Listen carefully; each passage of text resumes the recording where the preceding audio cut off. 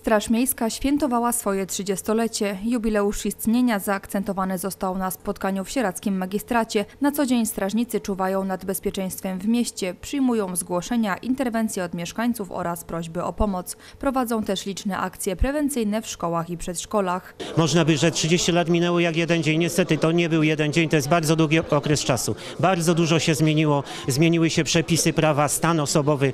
Nasze pomieszczenie zaczynaliśmy w 1992 roku na ulicy Rynek, także naprawdę y, zmieniło się bardzo dużo oprócz y, naszych czynności służbowych, czyli y, wykroczenia w ruchu drogowym. Zajmuje się szeroko rozumianym bezpieczeństwem. Prowadzimy działania profilaktyczne, tak zwane akcje bezpieczne ferie, bezpieczne wakacje, bezpieczna droga do szkoły.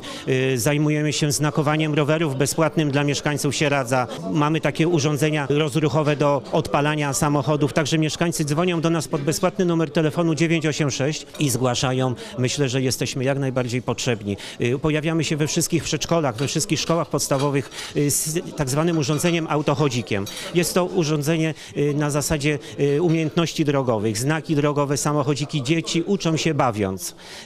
Poza tym prowadzimy akcję tak zwaną smog. Chcemy, żeby w naszym mieście było czyste powietrze, więc pokazujemy dzieciom, jak należy segregować odpady, co to jest recykling, co to jest smog i myślę, że z tymi dziećmi, z którymi my rozmawiamy w tym roku, nie będziemy mieli problemu za 10, za 12 lat, jak te dzieci urosną. Straż Miejska w Sieradzu będzie się zmieniać. Czy to będzie dla Was ułatwienie w pracy? Ma się te dodatkowe kamery?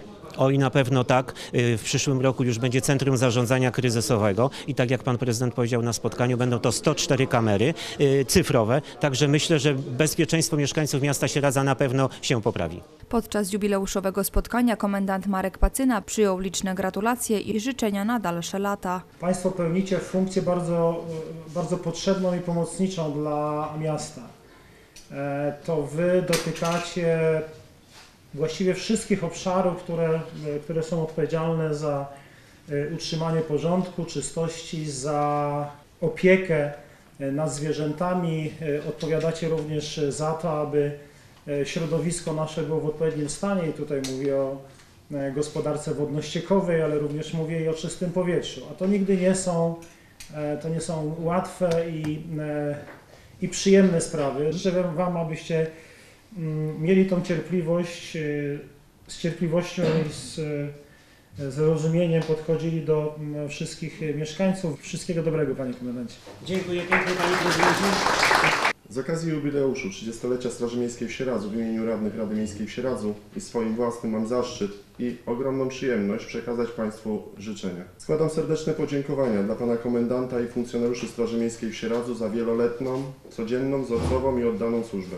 W Straży Miejskiej aktualnie pełni służbę 13 strażników, w tym 3 kobiety i 10 mężczyzn. Z okazji jubileuszu strażnicy odebrali awanse zawodowe. Na uroczystości z częścią artystyczną wystąpiły dzieci z przedszkola nr 1 imienia Kubusia Puchatka w Sieradzu.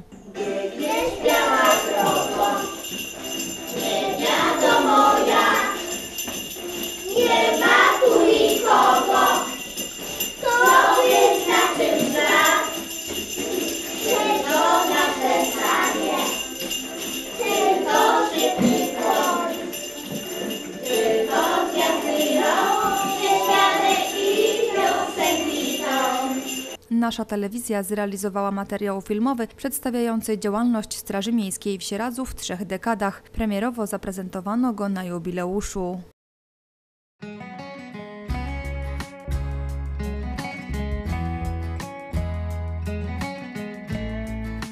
Pierwsi strażnicy miejscy rozpoczęli patrolowanie ulic Sieradza 30 lat temu, 15 grudnia 1992 roku, na mocy zarządzenia prezydenta miasta Sieradza, pana Janusza Marszałkowskiego, mówiącego o powołaniu Straży Miejskiej w Sieradzu.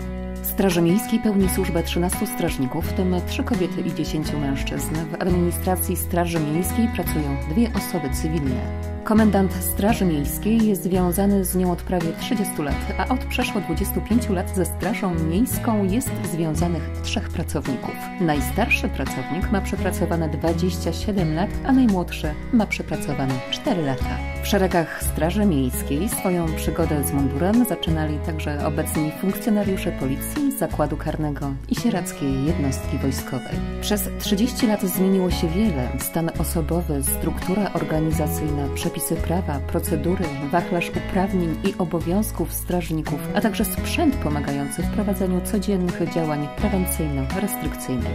Nie zmienił się numer interwencyjny 986, na który każdego dnia z dużą częstotliwością dzwonią mieszkańcy miasta, zgłaszając prośbę o interwencję.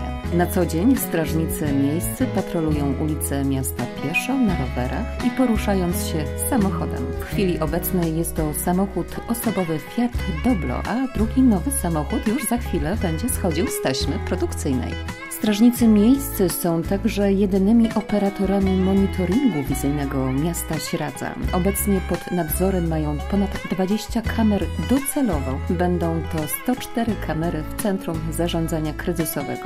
Praca strażnika miejskiego nie należy do łatwych i bezpiecznych. Codziennie strażnicy napotykają trudności, podejmują trudne interwencje, konfrontując się z osobami, które łamią prawo lub z osobami, które potrzebują wsparcia bądź pomocy. Stawiane są przed nimi różne wyzwania i trudne wybory. Niemniej jednak praca przynosi wiele satysfakcji i zadowolenia. Mają poczucie pełnienia ważnej misji, wyznaczają sobie kolejne cele, wytrwale dążąc do ich realizacji. Mają bezpośredni wpływ na porządek, bezpieczeństwo i wizerunek miasta.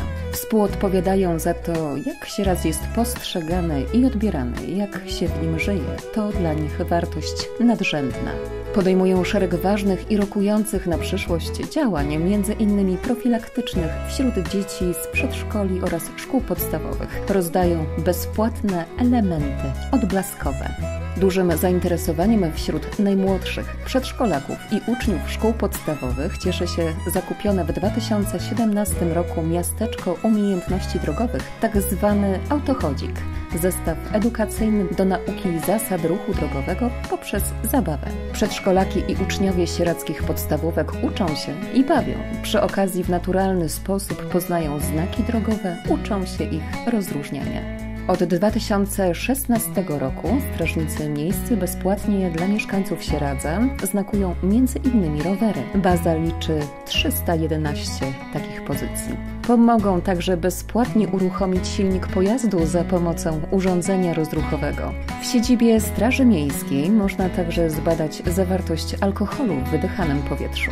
Strażnicy miejscy przywiązują dużą rolę do kompleksowych i długofalowych akcji ekologicznych wśród najmłodszych sieradzan, mających na celu edukowanie dzieci w sprawach m.in. ochrony środowiska, segregacji odpadów komunalnych, akcja SMOK, to znaczy zapoznanie dzieci z problemem zanieczyszczenia powietrza, rodzajem paliwa, które można spalać w domowych paleniskach. Akcja ma trafiać przez dzieci do dorosłych, m.in. rodziców, dziadków, opiekunów, co wiąże się z akcją prowadzoną już od dawna w Sieradzkiej Straży Miejskiej pod nazwą Czym skorupka za młodo nasiąknie. Dzięki współpracy z innymi strażami działającymi na terenie całej Polski corocznie organizują bezpłatne, ciekawe wycieczki dla dzieci ze świetlicy środowiskowej działającej przy Miejskim Ośrodku Pomocy Społecznej, m.in. do Łodzi, Wrocławia, i Opola. Strażnicy miejscy z dumą biorą udział w zabezpieczeniu wszystkich imprez na terenie miasta Sieradza, między innymi ekumenicznych, kulturalnych oraz sportowych. Biorą udział w zawodach sportowych, w biegach ulicami Sieradza oraz zawodach wędkarskich.